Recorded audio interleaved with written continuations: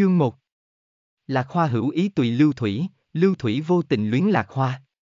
Bạn đang nghe truyện tại mê truyện audio.com. Ca khí cầm một cái cần câu tự làm, đào một ít dung, trở về con suối nhỏ sau nhà câu cá. Thường ngày, hắn dựa vào đốn củi mà sinh sống, bất quá hôm nay là lễ hàng thực, mọi nhà không đốt lửa, không có ai mua củi, hắn không có việc làm, không thể làm gì khác là đi câu cá, lễ hàng thực. Ngày mọi người không nổi lửa mà ăn đồ lạnh. Ngày hôm qua mưa một đêm, nước suối vốn hiền hòa bỗng tăng vọt, nếu không phải như vậy, hắn ngay cả cần câu cũng không cần, sáng ống quần lên là có thể trực tiếp xuống suối bắt cá rồi, bên con suối nhỏ mọc lên rất nhiều cây đào hoang, lúc này chính là thời kỳ hoa đào nở rộ, trước mắt đều là sắc hồng như mây chiều, trên mặt đất cũng là một mảnh đỏ ửng, hoa đào bị nước mưa làm rơi xuống trải lên một tầng lại một tầng dày. Lại còn có một vài cánh hoa rơi vào dòng suối, theo nước trôi đi rất xa, A khí để cái ghế bốn chân, đặt mông ngồi xuống tựa lưng vào một gốc đào, chân bắt chéo, vung dây câu, xong việc liền ngồi chơi nhãn nhã. Sau khi mưa cá đặc biệt dễ câu, bất quá chỉ nửa ngày công phu, hắn đã câu được không dưới 20 con cá, có rất nhiều con còn nhỏ, cá nhỏ hắn không lấy, lại thả về suối, chỉ để lại 7, 8 con ít nhất cũng nặng đến 3 cân, sau đó vui tươi hớn hở thu dây, cổng cái thùng nước lên, đang chuẩn bị ra về, đột nhiên thấy một thứ gì đó từ phía thượng du trôi lại, di động chìm nổi, dĩ nhiên là một người, người chết, A khí lại càng hoảng sợ, đi vài bước, muốn chạy đi, lại nghe thấy đằng sau truyền đến. Một tiếng đánh, nhìn không được quay đầu lại. Vừa quay đầu nhìn thoáng qua, mới phát hiện thì ra người kia ông một cây gỗ trong lòng, một tiếng đánh vừa rồi là âm thanh cây gỗ đánh vào bờ vọng lại, còn sống, do dự một chút, mắt thấy người kia sắp trôi đi, A khí hãy còn ông tâm tư cứu một mạng người xây tháp bảy tầng, buông thùng nước, nhảy vào trong nước, nắm lấy người kia cùng cả cây gỗ cùng nhau tha lên bờ, quả nhiên là còn sống. A khí dùng thật lớn khí lực mới có thể tách người kia ra khỏi khối gỗ, lúc sờ thấy nhịp tim yếu ớt cũng là lúc bị. Vết thương huyết nhục mơ hồ ở ngực kia dọa suýt nữa bỏ chạy. Bởi vì chìm trong nước rất lâu rồi nên miệng vết thương không chỉ phù thủng trắng bệch mà còn có dấu hiệu thối rữa, nhìn qua cực kỳ ghê tởm, cũng không biết có thể cứu sống hay không, A khí xoa xoa đầu mày, đem người về trong phòng mình, cố gắng nén cảm giác muốn bỏ chạy, giúp người kia tẩy trừ vết thương, khoét đi phần thịt thối rữa, sau đó tìm kim sang dược băng bó vào, chỉ mong, kim sang dược này còn dùng được, A khí cầu khẩn. Năm ngoái trong lúc đốn củi hắn vô ý bị thương, tìm một thầy lang. Địa phương mua kim sang dược, hiệu quả cũng không tệ lắm. Hắn mới dùng có nửa bao, vết thương đã khép miệng rồi. Còn lại nửa bao hắn cẩn thận gói lại, nhưng qua thời gian lâu như vậy, dược phấn đều có chút dinh dính rồi, không biết có dùng được nữa hay không, không thì chính là đem ngựa chết làm ngựa sống rồi, hữu dụng thì hữu dụng, không thì hắn coi như hảo tâm giúp người này đào một cái huyệt. Dược này cũng không rẻ, phải gom góp của cải trong nhà, hắn mới không lãng phí trên người nam nhân không quen biết này, đừng nói gì đến chuyện thỉnh đại phu, lúc mang y phục dính máu của người kia cởi ra vứt xuống giường, hắn mới nhớ tới vì mang người trở về, thế nhưng cá vừa câu cũng không không cầm về, để lại bên suối cùng cần câu, A khí vội vã nhặt y phục dính máu lên, ra suối giặt, thuận tiện đem cá xử lý, đánh vẫy cá, moi nội tạng, cầm hai con đi chữ canh, còn lại toàn bộ quét muối ăn lên. Lấy cỏ xanh bó lại, treo ở dưới mái hiên làm hàm ngư kiền, hàm ngư kiền.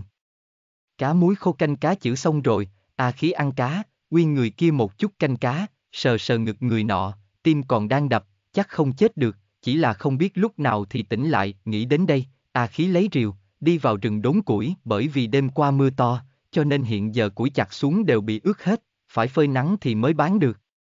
Cũng may lão thiên gia ban ân, sáng sớm ngày hôm sau liền nắng, phơi nắng đến toàn thân một trận phát nhiệt, ta khí mang tất cả củi đốn ngày hôm qua ra phơi dưới ánh mặt trời, chính mình lại lấy rìu vào núi đốn củi, buổi trưa trở về, củi ướt đã khô hết.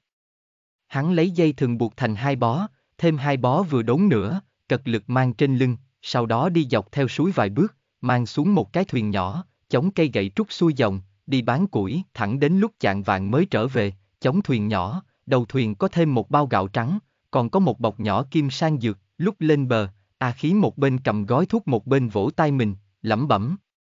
Cho ngươi hà tiện, đều nói là không mua, kết quả chính là mua A, A khí mới không thừa nhận chính mình thiện lương, hắn nghe người ta nói, người tốt không trường mệnh, hắn còn muốn sống đến trăm tuổi đâu. Quên đi, dược này coi như giữ lại, tổng yếu phòng khi vạn nhất, nói không chừng một ngày nào đó hắn lại bị thương nữa. A phi phi phi, A khí lại phiến lỗ tai của mình, thế nào lại rủ mình như thế, hắn nhất định sẽ bình an kiện kiện khang khang trường mệnh bách tuế, kiện kiện khang khang trường mệnh bách tuế. Khỏe mạnh sống trăm tuổi, trở lại trong phòng, người kia vẫn nằm trên giường như vậy, không có một chút bộ dáng muốn thanh tĩnh, ghê tởm, chẳng lẽ là ý lại vào ta rồi. A khí hùng hung hổ hổ, nhịn không được kiểm tra vết thương một chút, không tốt cũng không bị phá hư, chính là như vậy, đáng sợ làm cho người ta muốn phun, ta nói cho ngươi hay a, ngươi nếu như không chết, thì sớm một chút mở mắt nhanh lên, ta là người nghèo, nuôi sống một người đã là quá sức, không nuôi nổi ngươi đâu. Nếu như muốn chết, cũng sớm một chút tắt thở có được hay không, không nên dở sống dở chết, lãng phí lương thực của ta, còn có dược nữa, hắn một bên nói thầm, một bên lấy ra hai thanh từ chỗ gạo mới mua, vo sạch, cho vào nồi, bỏ thêm nước, nhóm lửa, ngao ra một nồi cháo gạo trắng thơm ngào ngạt. Thật thơm. A khí nuốt nước miếng, ánh mắt chuyển động giữa nồi cháo và người kia hơn nửa ngày, mới rốt cục không cam lòng mà nâng người kia dậy, đem một bát cháo toàn bộ uy cho y, cuối cùng, hắn lại tức giận bất bình nói.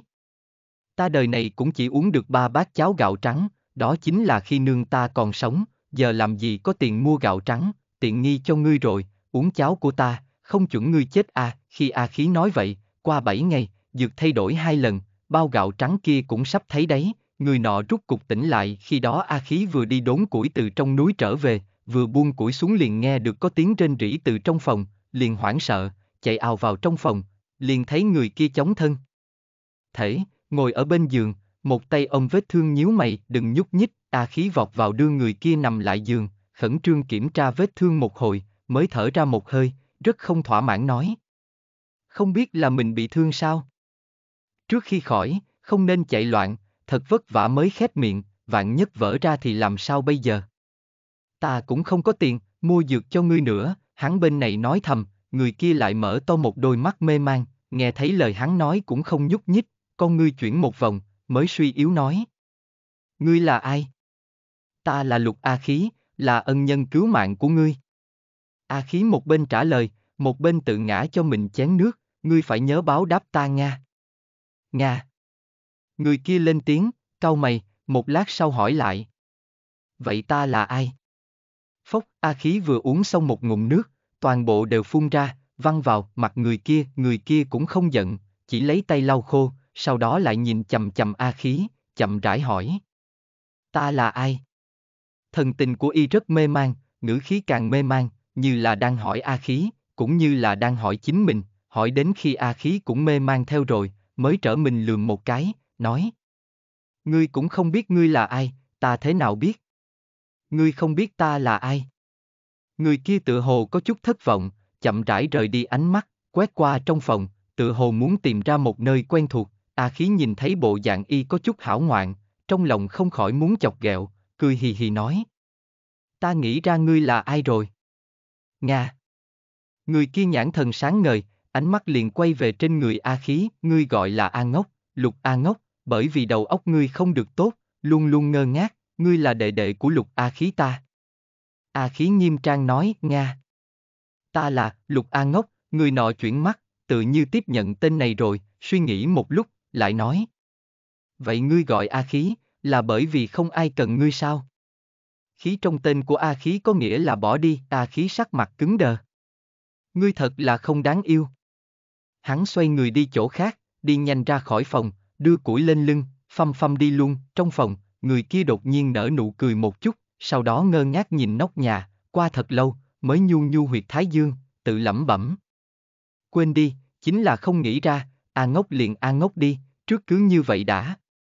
Cứ như vậy a, a khí có thêm một đệ đệ, một đệ đệ tên là a ngốc, cái đệ đệ này không biết bắt cá, không biết đốn củi, không biết nhóm lửa, không biết làm cơm, không biết bổ y phục, không biết, tóm lại là cái gì cũng không biết, căn bản là một con sâu gạo ăn không ở không, cũng có vài lần A khí muốn đuổi y đi, nhưng mỗi lần như vậy, người kia sẽ ngơ ngác nói.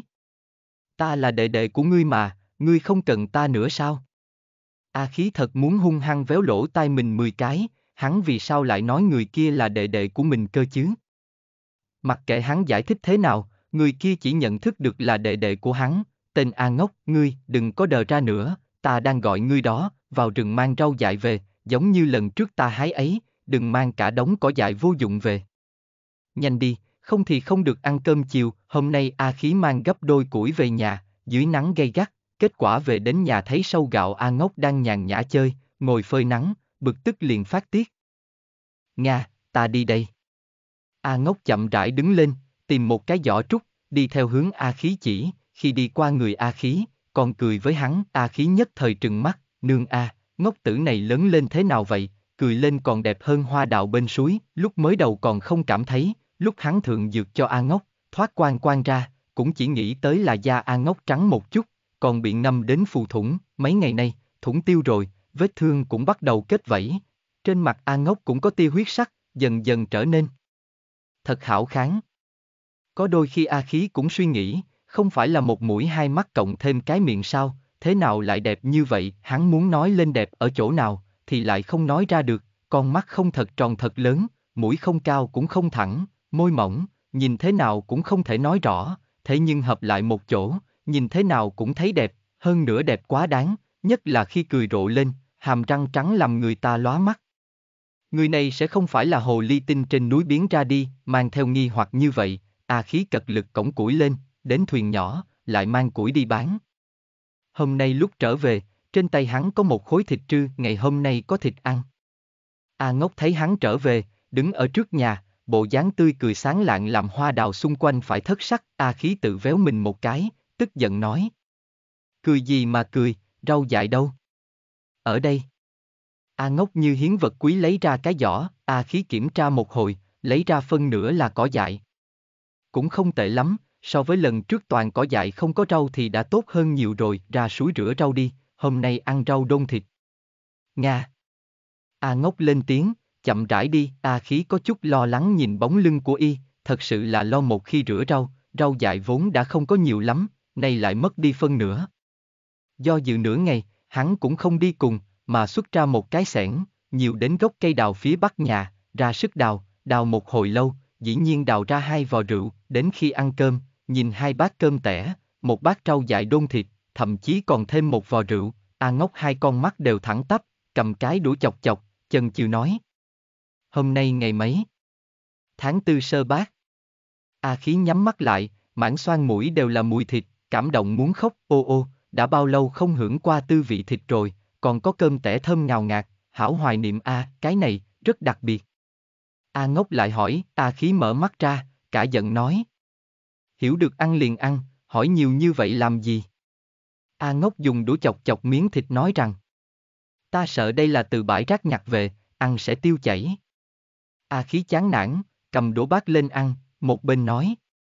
Vậy ngươi đừng ăn, vốn sẽ không mua thịt cho ngươi ăn, ta ăn vậy, nò chết cũng không cho ngươi. Ách, bị nghẹn rồi, A ngốc vội vã mang cốc đến, A khí một tay tiếp nhận, kêu cầu nhậu uống hai ngụm mới thuận khí. Nhìn A ngốc vài lần, bị vẻ mặt ngơ ngác của người này làm cho tức cười, thực sự là hết cách với ngươi. Hắn gấp thịt lên, thịt này là mua đó, là hàng mới nhất, bảo đảm ngươi ăn không tiêu chảy. Ngày hôm nay là sinh nhật 18 tuổi của ca ca ngươi đó. Câu cuối cùng, A khí nói cực nhỏ, A ngốc cũng nghe được, lại cười rộ lên, lộ ra một hàm răng trắng, ta đây liền ăn. Ngô, rượu này uống ngon thật. Như thế nào lại có mùi hương hoa đào, A khí đắc ý vên mặt lên nói. Đó là đương nhiên, ngươi không nhìn thấy ở đây bốn phía đều là đào sao, nơi khác làm sao có, có rất nhiều quả đào nha, những quả đào này ăn thì chát, thế nhưng dùng để nhưỡng rượu thì không thể tốt hơn. Nói cho ngươi biết, dưới mỗi gốc đào xung quanh nhà ta đều chôn rượu đó. Ta còn đặt tên cho nó, gọi là Vũ Lăng Xuân, một vậy sau này mỗi ngày đều có rượu uống, A ngốc cười sáng lạng, A khí bị mê đến thất vận bát huyễn, hơn nửa ngày mới phục hồi tinh thần, vỗ bàn nói. Nghĩ cũng đừng nghĩ, rượu này là vốn để ca ca ngươi thú thê đó. A ngốc cười nói. Rượu này đều cho ta, ta làm vợ ngươi liền. Hồ nháo. A khí mặt đỏ tim đập, ngửi là được rồi, không được có ý lấy rượu này. Đáng tiếc, cái thân phận ca ca tự nhận này của hắn không có mấy lực uy hiếp, không đầy một tháng, Vũ Lăng Xuân xung quanh nhà liền thiếu mất một nửa, hành vi thường ngày của A Ngốc, từ ngơ ngác ngồi dưới mái hiên phơi nắng, biến thành ngơ ngác ngồi dưới mái hiên một bên uống rượu một bên phơi nắng A khí tức đến dậm chân, nói y vài lần, thế nhưng mỗi lần nhìn thấy khuôn mặt cười đến sáng lạng của A Ngốc, hắn lại không có biện pháp gì. Hắn nhận thức một đệ đệ sâu gạo, căn bản là trêu chọc một bại gia tử, hoa đào đã biến thành quả đào, đều rất nhỏ, xanh tươi thanh thúy, tinh mỹ khả ái, nhìn bộ dáng vui chơi nhàn nhã của A Ngốc, A Khí từ một ngọn núi đang chặt mấy gốc thanh đằng, bệnh thành một cái sọc cỡ lớn đi đến chỗ A Ngốc, thanh đằng. Cây mây còn muốn uống rượu, nhanh lên hái đào về cho ta, quá to không lấy, quá nhỏ cũng không lấy, quả bị sâu thì không cần, bị gió thổi rụng trên mặt đất cũng không lấy, nhanh đi. A khí chỉ thiếu nước cầm cái cây nhỏ ở sau lưng mà đánh tên ngốc tử này, A ngốc gãi gãi đầu, một tay mang theo bình rượu, lưng đeo cái sọt đặc biệt to, đông nhoáng một cái tay nhoáng một cái đi trước, còn không có quên cấp A khí lộ ra một nụ cười bạch nha, A khí một người thất thần, lúc phục hồi tinh thần, A ngốc ngay cả bóng người đều không thấy nữa rồi, không đúng nha, ngốc tử này sao hôm nay chạy trốn nhanh vậy, A khí càng nghĩ càng không đúng, kéo dây mây đi tìm, không tới một hồi, quả nhiên. Thấy ngốc tử kia ngồi dưới một gốc đào, hiếp mắt, chân bắt chéo, cái sọc đặc biệt Tokia thế nhưng lại để một bên, bị gió thổi trúng đảo quanh, ngươi ngốc tử này, biết ngay là ngươi sẽ lười biến mà, a khí giận sôi lên, cua dây mây tiến sát lên, a a a, ca ca xấu không ai cần muốn giết người, a ngốc nhảy dựng lên, cầm lấy vào rượu, tiện tay cầm cái sọt, chạy thục mạng vào rừng trốn, ngươi mới là không ai cần, a khí ở phía sau dậm chân, hùng hổ đuổi theo vài bước, kết quả bị mấy cánh bướm rực. Rỡ bay qua làm mê mắt, nhìn lại, còn đâu bóng a ngốc nữa, còn để cho ta bắt được ngươi lười biến thêm lần nữa, phạt không ăn cơm một bữa tối. A khí oán hận bỏ lại một câu nói hung ác, mau mau tiêu sái rời đi, vài chiếc lá đào không biết từ đâu bay tới, trong rừng đào chuyển tới chuyển lui, mỗi lần xoay một vòng, liền có một quả đào từ trên cao rơi xuống, chuẩn xác rơi vào sọc, thân ảnh của A Ngốc xuất hiện tại gốc cây đào bên cạnh, như củ biến nhát nằm, một ngụm lại một ngụm uống rượu. Đầu ngón tay bắn ra, vài mảnh lá đào bay ra, sau đó liền nghe được âm thanh đào rơi lạc khuôn trong gió, hỗn loạn nghe được một tiếng cười nhẹ nhàng. Ca ca hung ba ba, thực sự không cho ăn cơm tối thật sao? Đáng tiếc, A khí đã đi xa rồi, không có nghe thấy câu nói đó, hết đệ nhất chương, Vũ Lăng Xuân, Lý Thanh Chiếu lắng hương Trần Hoa đã hết, dậy muộn chải đầu lười. Vật đổi sao dời mọi việc thôi, chưa nói lệ tuôn rồi, nghe nói sông Khê Xuân vẫn đẹp, cũng định thả thuyền chơi. Chỉ sợ sông Khê thuyền nhỏ nhoi, sầu nhiều thuyền chở không trôi, Nguyễn Chí Viễn dịch thơ, Lý Thanh Chiếu, chữ Hán. 1084, mất khoảng năm 1151, hiệu dị an cư sĩ, là nữ tác gia chuyên sáng tác từ nổi tiếng thời nhà Tống, Trung Quốc. Theo đánh giá của nhà văn Lâm Ngữ Đường, 1895-1976, thì bà là nữ thi nhân bậc nhất Trung Hoa. Nghe trọn bộ tại mê truyện audio.com, link trực tiếp ở phần mô tả.